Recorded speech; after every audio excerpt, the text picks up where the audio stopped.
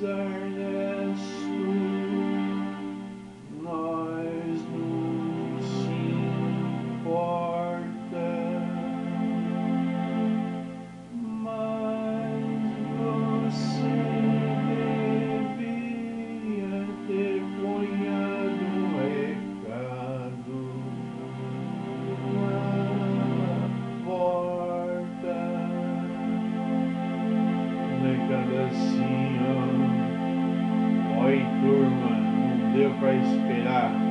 Mas duvido que isso não vai